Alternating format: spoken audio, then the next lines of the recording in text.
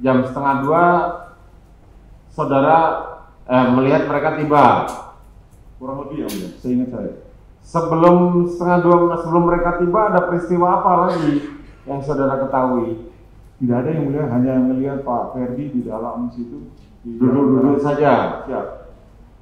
Kemudian Kemudian datang, masuk ke dalam dengan penyidik. Saya cuma lihat sampai di garasi, kemudian di dalam saya tidak tahu lagi melakukan kegiatan apa. penyidik mana yang mendampingi mereka? Jadi Polres Selatan ya. Penyidik Polres Selatan siapa? Yang saya tahu hanya AKP Samuel waktu itu. mulia. AKP Samuel. Kalau penyidiknya yang lainnya kami nggak tahu namanya. Berapa orang penyidiknya? Kurang lebih empat atau lima. Empat atau lima. Mereka masuk ke dalam. Siap. Apa yang mereka lakukan di dalam? Saya nggak lihat mulia. Saudara tidak melihat. Kemudian apa lagi yang saudara lakukan di sana? Kemudian karena rombongan Pak Ferdi dengan beberapa pejabat duduk di, di, di depan garasi, saya berdiri di dekat garasi situ yang mulia.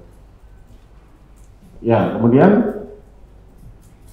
Di situ kemudian saya sempat melihat ada CCTV di garasi, CCTV kamera.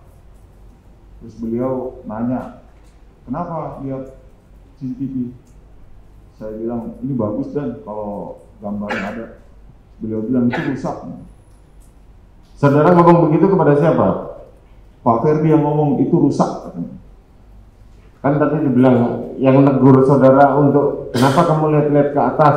Pak Ferdi Sambo. Saudara Ferdi Sambo. Iya, iya. Kalau saudara mengatakan ini bagus kalau ada gambarnya. Iya, Terus dibilang bahwa ini rusak. siap. Kemudian Saya diam yang mulia.